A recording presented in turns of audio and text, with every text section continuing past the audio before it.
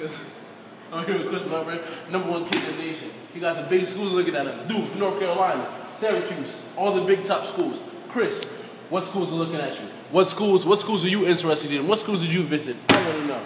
Uh, I visited North Carolina, Duke, Michigan. I went to. Now wait, I'm gonna stop it here. Duke, you said Duke. How do you like Duke? Do you like it? How do you feel about Coach K? The great Coach K. How do you feel about it? I like it. You know, I love Coach K. Coach Okay. K is an excellent man, great Alright. coach. Okay. Um, you got little players over there, Uh-huh. but you know. Um, ah, All right. Next And um, I currently heard that you've been talking to Juwan Howard, who just um, who just recently committed to Michigan. He was, I think, the number four kid in the nation during that time. um, have you have you been in contact with him? Or the rumors true? Is it is it true you might be leaning towards being a Wolverine? yes. The rumors are true. Okay. I talked to Juwan Howard. We talked to like we talked three days a week. Okay. Um, I'm in contact Okay. with him. Okay.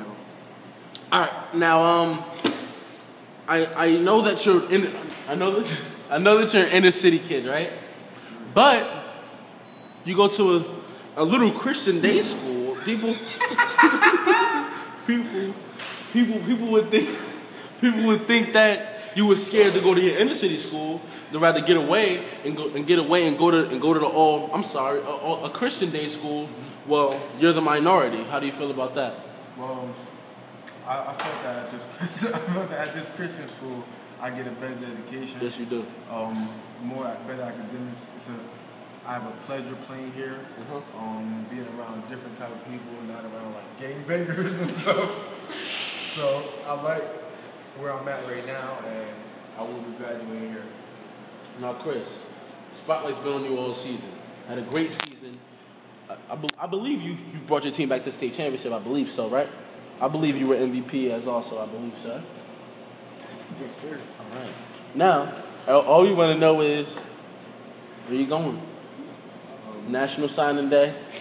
Where you headed? next year, I'll be taking my. I'll be attending Michigan Wolverines.